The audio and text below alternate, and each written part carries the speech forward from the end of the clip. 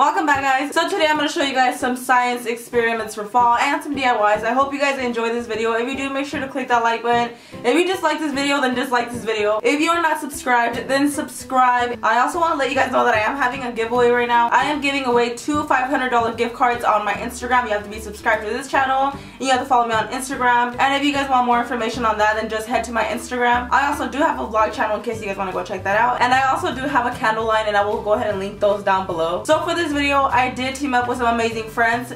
Peter is making a black bath bomb, Andrea is making pumpkin slime, Breland is making body hacks, Nichole is doing crazy hair hacks, Slava is doing single life hacks, and Christian is doing 100 pieces of gum. So make sure to go check out their videos after you finish watching this one. Tell them I sent you and all that jazz. Thank you guys so much for watching. I hope you guys enjoy and let's go ahead and get straight on to this video. So the first science project or DIY I'd like to show you is applesauce oobleck. All you need to make oobleck is water and cornstarch. But we're doing this fall theme so we're using applesauce and besides it smells amazing. And we're also going to need cornstarch and that's all you need for this oobleck. Just add it in slowly and mix. You never know how much you're going to need. For me personally, it's always like a 2-3 ratio. 2 being the applesauce or water or whatever and 3 being the cornstarch. You know you're done when it's super hard to actually press on it. It's gonna solidify once you put pressure on it. But once you let it run free, it just melts like liquid. It's so confusing. It's like a solid and a liquid in one.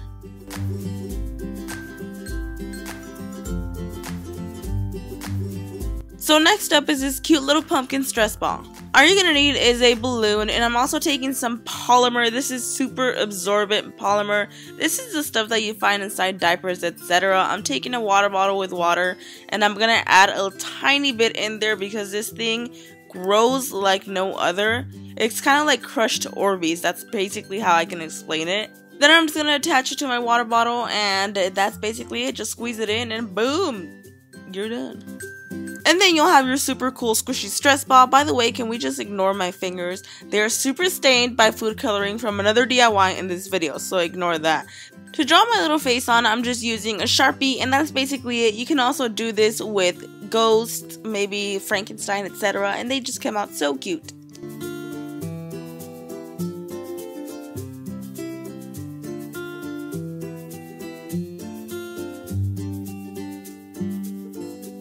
This next science experiment is dancing corn. So you're to need some popping corn. You're to need a tall container. You're also going to need two cups of water in this. You're to need some baking soda. You're to need about two tablespoons of this.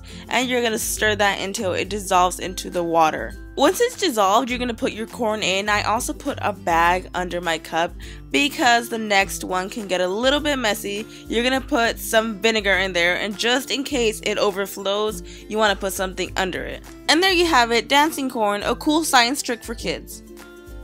Next up is making a little ghost slide with a balloon. So cute. So you're going to take some coffee filters because this is the only paper that is going to float or fly or whatever. With a Sharpie, I'm just drawing a bunch of cute little ghosts and then I'm going to cut them out.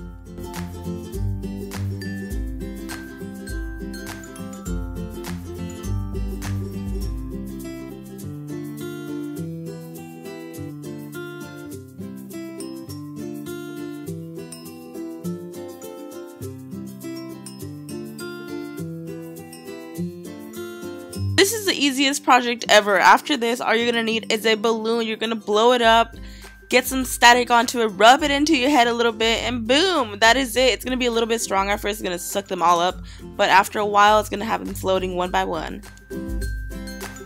This next DIY is the water marbles ice balls. So these are actually really cool if you live in the snow. I'm just so excited about fall that I had to do these. A lot of people do these for winter too. I decided I want to make mini versions of these. So I'm taking small water balloons and I'm just going to add one drop of food coloring to each. Just one drop. And then of course you're just gonna fill them up with water and that's it. You're gonna put these in the freezer overnight, let them get solid, and then they are done. This is how they look. These are really cool. Like I said, if you live in the snow and just have them around, it's just so cute. They just look so cute in general. Look at these. So last but not least, we got Ghost Slime. All you need to make this is some clear Elmer's glue, and we're using the borax method for this one. I usually always use Staflo because it's so much easier for me, but when you want crystal clear slime, with Staflo it's kind of impossible, it's going to come out cloudy, so we're using the borax method. The borax method takes about a warm cup of water and a fourth of a teaspoon of borax, mix that together until it dissolves, and then you're going to add it into your mix slowly until it comes together like so and then we're gonna add some cute little eyeballs in there and that's basically it for your ghost slime. And that's actually it for all these science projects and DIYs. I really hope you guys enjoyed. So that is it for this video. Thank you guys so much for watching. If you guys enjoyed, make sure to click that like button. If you dislike it, then dislike it. It's okay. Comment down below your video suggestions. Don't forget to go check out my friends. Thank you guys so much for watching. I love you guys. And I will see you guys in my next video. Bye!